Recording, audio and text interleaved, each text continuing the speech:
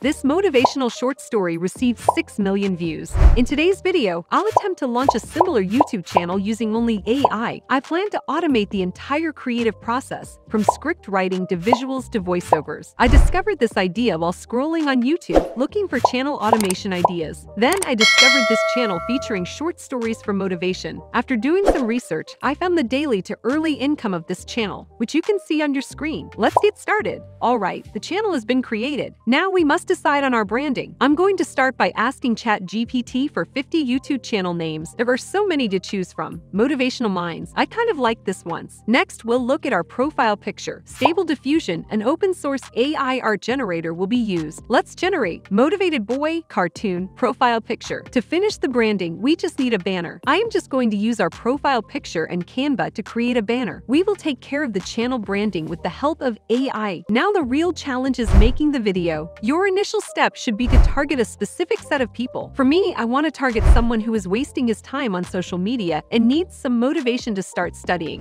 So I came to ChatGPT and asked, give me short story ideas for someone who is wasting his time on social media and doesn't want to study. But I want him to read the short story to get motivated and get an idea to start studying. As you can see, ChatGPT will give you some ideas. The Time Waster. The story is about a young man who spends all his time scrolling through social media and neglecting his studies. I like this because it's an exciting idea that we can start with. Now that we have a story idea, we can ask ChatGPT to write a short story. So once it's done writing the story, all you have to do is copy it. And the next step is to create the voice. Go to speaktts.com. It's the best AI voiceover tool that I have seen. Now there is a big question about how to use speaktts.com. First, you need to log in to speaktts.com. After logging in, you must copy the script from ChatGPT and paste it into the text box. Each text box has a limit of 3,000 characters. Now you can select the voiceover artist that you prefer most. The library includes over 850 realistic voices across 100 135 languages and dialects. Now click on the Synthesize button, which will render your voiceover instantly. So all we need to do is download them by clicking on this download button right here. Now it's time to turn it into a video. We'll use Filmora video editing software for this step. To get started, open Filmora and create a new project. You can choose the aspect ratio and resolution of your project depending on your needs. The next step is to import this voice which you download from speaktts.com. Now let's start editing the video. You can ask Stable Diffusion to create social media addicted illustration boy. Save the image. Drag and drop to this image into the Filmora. Next is click on the export button.